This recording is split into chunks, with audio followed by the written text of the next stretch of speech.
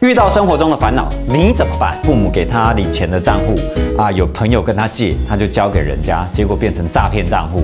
哦，又或者呢？朋友跟他说：「哎，你可以帮我啊，把这个东西、这个咖啡包送去给哪个朋友？」他就傻傻的送过去，结果就被警察抓起来了。为什么？因为这个咖啡包里面全是毒品。锁定每周六日晚上的八点，近天电视台播出的《绿油精》。